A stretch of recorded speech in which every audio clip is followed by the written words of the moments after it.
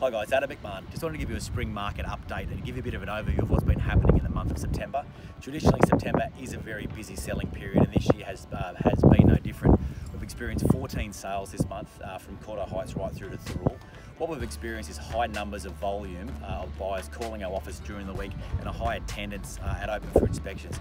We've seen a really good coverage of buyers uh, in the lower end of the market right up into the high end uh, of the 2 million range.